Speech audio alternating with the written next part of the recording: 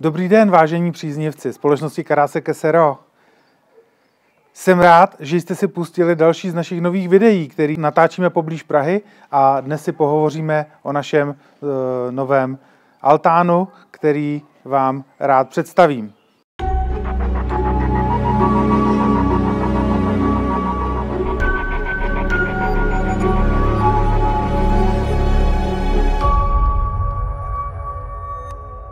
www.karasek.cz Takže se jedná o e, hnědo, hnědé provedení hliníkové konstrukce bez předušených tepelných mostů. Jedná se o skleněnou střechu e, z bezpečnostního vrstveného skla a e, boční stěny jsou zaskleny tvrzeným bezpečnostním sklem. Celé pojetí této zakázky e, má krásný příběh, takže je toho tolik, co by jsem vám chtěl dneska e, k tomuto tématu e, říct, protože je, jeden střípek by mohl být dost důležitý pro vás. Takže na úvod v podstatě by jsem rád zmínil, jaký byl výchozí stav pro, pro tento zbrusu nový altán. Výchozí stav byl takový, že podesta zde takto vyvýšená nebyla. Zadní stěna byla tak o metr nižší levá stěna nebyla vůbec a e, v podstatě obod této plochy byla, byl tady ten, e, ten plot nebo ta, ta stěna, tě, stěna pozemku. Takže na základě komunikace s klientem a, a zadání, které jsme si tady upřesňovali, bylo vhodné postavit uh, tuto, tuto přidanou levou boční stěnu, kdy při měření už jsme stanovili úhel, takže stěna má sklon zhodný se, se sklonem střechy a tím jsme stanovili i výšku e, zadní stěny, takže to všechno nějakým způsobem vlastně jakoby korespondovalo a e, když už teda se ta stěna přistavovala, doporučil jsem e, pro vytrávací otvory, které zákazník již ocenil v teplejších dnech, kdy je potřeba ten nejteplejší vrstvený vzduch mít možnost teda pustit mimo uzavřený prostor. Takže jedná se o celohliníkovou zasklenou konstrukci a musíme přiznat dvě zásadní věci. Otevřený stav, maximální propojení s venkovním prostředím. Myslím si, že dvě třetiny každé poloviny otevřený stav je e, přijatelný nebo dostatečný pro to, aby teda jste se cítili e, svobodně. A e, zasklená střecha Eh, samozřejmě pomáhá tomu pocitu. Rovněž a při sluneném počasí je možné zatáhnout ze spoda umístěnou elektrickou markízu, eh, kterou vám na závěr také představím. Takže Zmínili jsme eh, původní stav, nový stav. Vidíte, vzniklo krásná věc. Obklad kamenný na, na stěně se doobkládal až po montáži naší konstrukce.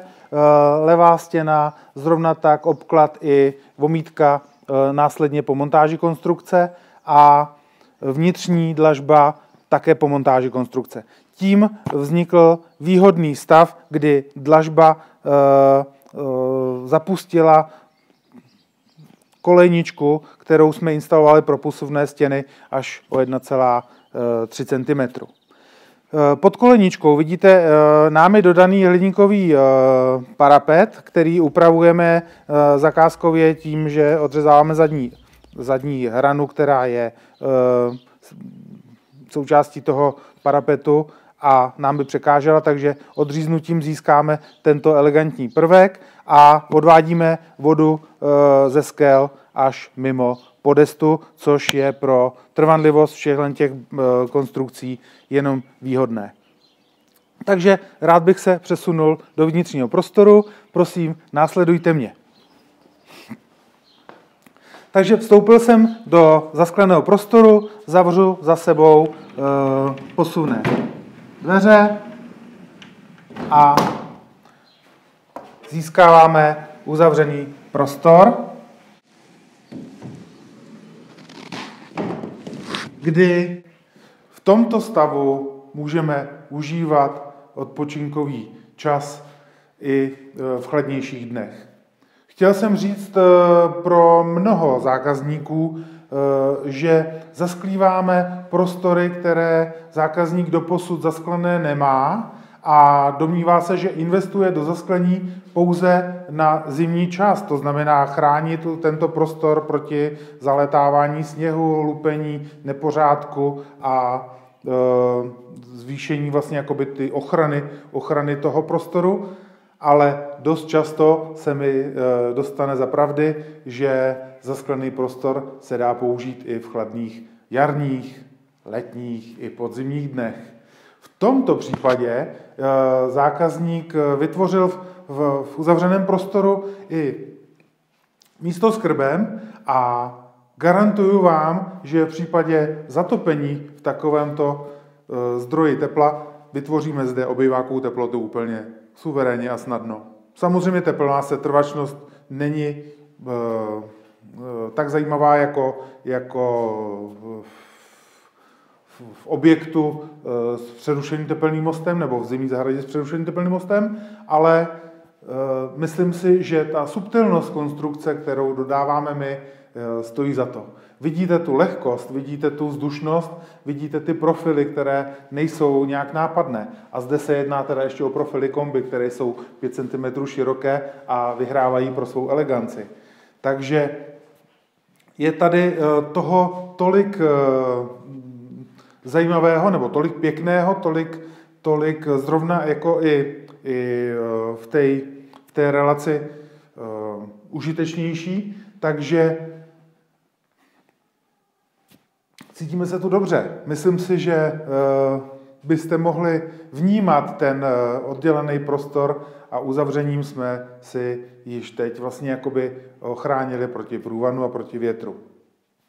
Takže představím vám ještě elektrickou markízu, pardon, ke které máme ovladač. Jedná se o SOMFI systém elektrického ovládání, takže můžeme samozřejmě k takovýmto výrobkům dodávat i sluneční automatiku, větrnou automatiku. V tomto případě větrnou nepotřebujeme, ale sluneční by zde mohla být a bude eh, výrobek sám reagovat na intenzitu světla.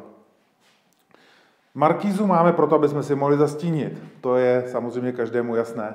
V tomto případě všechny plusy vedly k tomu, že jsme zařízení použili uvnitř.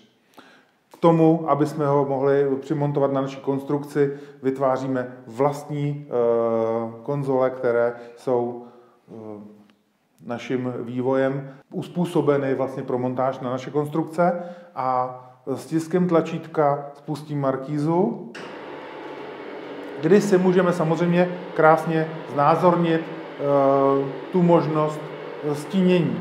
Dnes slunce nesvítí, nevadí, asi bychom ji nepoužili, ale ukážeme si eh, vhodný výběr látky, která stín zařídí.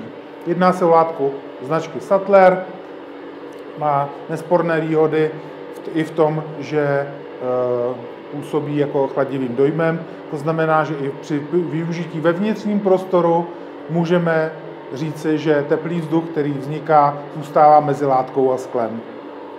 Nejúčinnější možné řešení je markízu umístit samozřejmě vně nad střechu, kdy e, již markíza chrání proti přehřívání sklo a tudíž ten prostor, tento, nebo takovýto zavřený prostor by mohl být ještě chladnější. Ale zde máme teda ty odvětrávací otvory, které nám v kombinaci s tím vnitřním Eh, vnitřní instalací markízy náravně pomáhají. Takže já bych snad eh, ještě rekapituloval, jestli jsem na něco nezapomněl.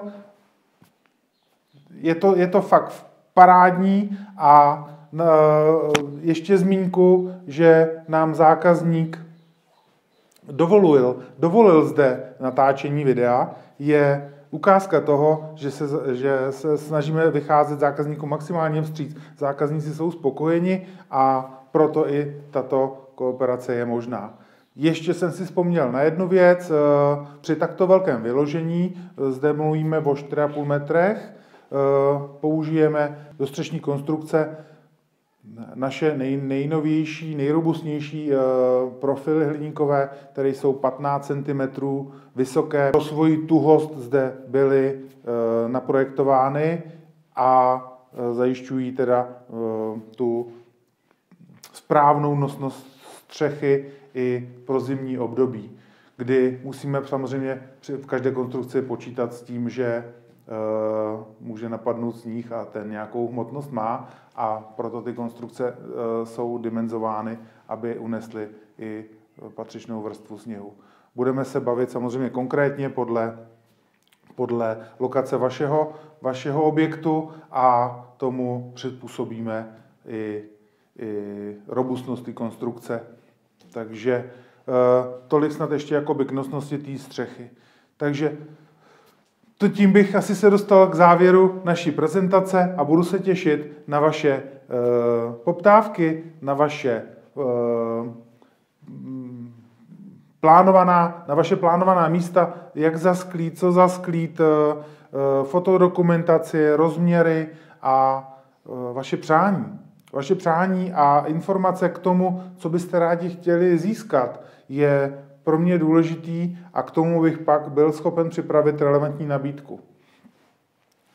Budu se těšit na, na osobní setkání s vámi, kteří Eh, se v našich zakázkách eh, zhlédli, zalíbily se vám naše práce a tak, jak pracujeme, eh, teď budeme pracovat i pro vás. Takže díky moc a nashledanou.